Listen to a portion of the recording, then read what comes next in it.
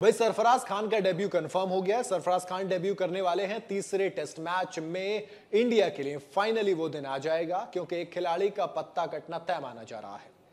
अगर team India जो पुराना वाला गणित है, यानी कि वाइजैग वाले गणित में चलेगी तो सरफराज खान की प्लेइंग इलेवन में एंट्री कंफर्म है। दो चीज़ें बताने वाला हूँ। पहले आपको स्क्वाड बताता हूँ जो तीसरे टेस्ट मैच के लिए स्क्वाड है उसके अंदर रोहित शर्मा यशस्वी जायसवाल ओपन के हिसाब से है। मैं पूरे स्क्वाड को नहीं सिर्फ़ टीम को बता के चल रहा हूँ फिर। आ, उसमें फिर शुभमन गिल के राहुल भी हैं लेकिन subject to fitness Rajat Patidar Sarfaraz Khan Dhruv Jurel K S Bharat और अश्विन है रविंद्र जडेजा है। अगेन फिर सब्जेक्ट टू फिटनेस है फिर अक्षर पटेल वॉशिंगटन सुंदर कुलदीप यादव मोहम्मद सिराज मुकेश कुमार अक्षदीप। आकाशदीप आरसीबी से सीधे टीम इंडिया में आए हैं, क्योंकि उन्होंने इंग्लैंड लायंस के अगेंस्ट बहुत शानदार परफॉर्मेंस किया था, लेकिन इसमें जब आप टीम को देखेंगे तो मोरलेस सेम टीम है। रविंद्र जडेजा की एंट्री हुई है।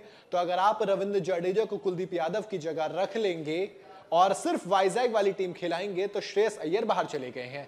उनकी इंजरी की वजह से वो रूल आउट हो गए हैं। हालाँकि हालाँकि हालाँकि सोशल मीडिया पर चीज़ें ये भी चल रही हैं कि चोट तो महज एक बहाना है, असली मकसद तो अय्यर को टीम से भगाना है।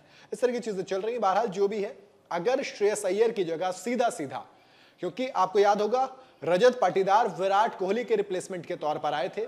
तो ऐसे में अगर विराट कोहली तो अवेलेबल है नहीं है बाकी तीन मैच की सीरीज़ के लिए भी तो ऐसे में विराट कोहली की जगह अगेन रजत पाटीदार, वो बिल्कुल गणित सेम रहता है।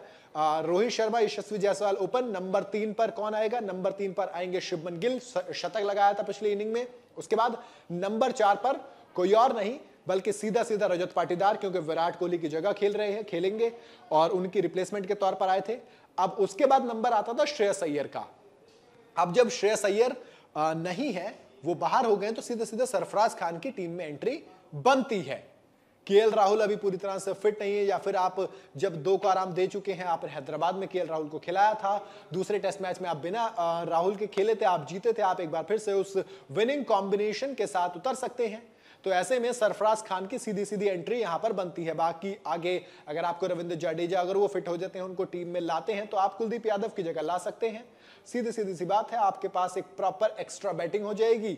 बुमराह रहेंगे। बुमराह के साथ में आप वाइस कैप्टन भी हैं बुमराह। तो बुमराह के साथ में आप स्पिन के साथ जाइए तो ज़्यादा बेहतर रहेगा। आप अगर कुलदीप को भी खिलाना खिलाइए, आप मुकेश कुमार को आराम दीजिए पिछले मैच से। तो इस तरह की गणित मेरे हिसाब से बन सकती है, क्योंकि भाई सरफराज खान परफॉर्म कर रहे हैं। अभी एक रन की पारी उन्होंने इंग्लैंड लायंस के अगेंस्ट खेली थी। हालाँकि अगर आप रिसेंट देखेंगे तो रजत पाटीदार की फॉर्म अच्छी है बट जब आप ओवरऑल स्टैट देखेंगे फ़र्स्ट क्लास क्रिकेट के तो वो रजत पाटीदार पर सरफराज खान बहुत ज़्यादा भारी पड़ते दिखाई देते हैं। ऐसे में आप कह सकते हैं कि रोहित शर्मा और राहुल द्रविड, कोच और कप्तान, दोनों के दोनों सरफराज को मौका दे सकते हैं। डोमेस्टिक में रिकॉर्ड शानदार है उनके पास। 45 फ़र्स्ट क्लास मैच खेल चुके हैं। करीब 70 का उनका एवरेज है। उनतालीस सौ बारह रन बनाए हैं। चौदह शतक लगा चुके हैं। ग्यारह शतक लगा चुके हैं। कन्वर्जन रेट भी अच्छा है।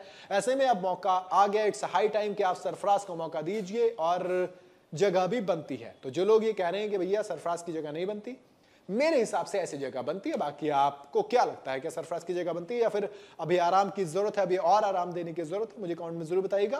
वीडियो अगर आपको पसंद आई हो तो इसे लाइक और शेयर ज़रूर करें। जाते हो तो चैनल को सब्सक्राइब करते जाए।